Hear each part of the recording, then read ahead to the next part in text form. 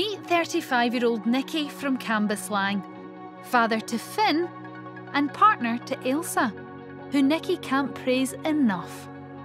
She's an incredible mum. She has had to put up with a child and a man-child. Um, to be, Yes, we joke about to my, be my, my honest. eldest child and my youngest child, don't we?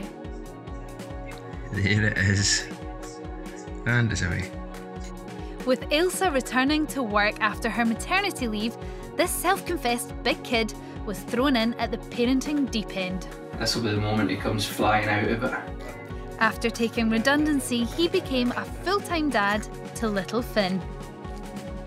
it then became like wow i'm i'm actually fully responsible for for this little boy um kind of nine to five five days a week it's uh, and it, it was a it was a bit of a culture shock a body shock And here we have it the fun old painting game of fish the poo from the bath. It's not all glamorous. Ah, no, no, no, no, no, no. Come on. Hey. I had no idea a, a baby at all ages would, would keep you on your toes the way Fynn does and the way I'm sure most babies do. I can smell it. You can, you can have a tea break when you're at work and you can stop for lunch when you're at work.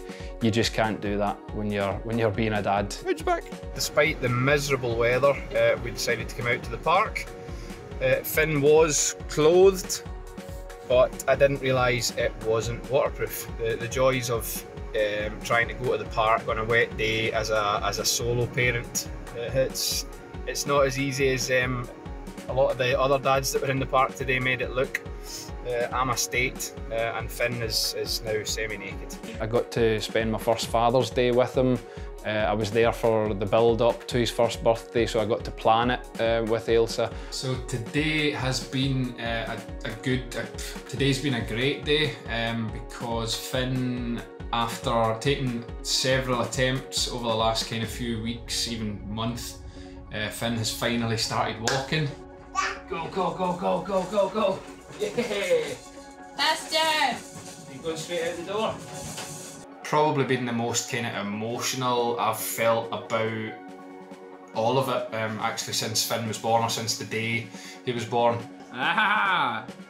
And these aren't the only new steps for this family, as Nicky has now returned to work and Fynn has started nursery.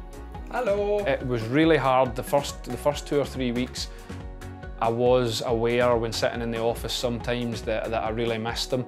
Um, I've actually set my screensaver on my computer at work as just a picture of Fynn's face, so at least I've always got the reminder.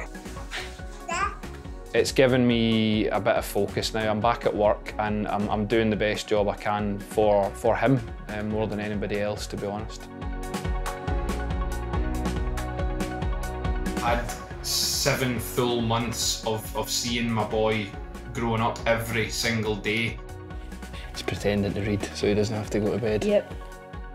It's been a strange year, but it's been an incredible year. I, I really, I can't say enough about being a parent and, and really what that has done to me personally.